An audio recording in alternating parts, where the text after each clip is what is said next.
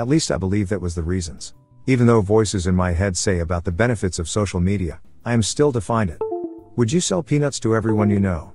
I believe not. I believe somehow you have an idea about who likes peanuts, and avoid annoying others. What we do, and I am on this list recently, when I try to publish my work online, is selling peanuts to people that are allergic to peanuts.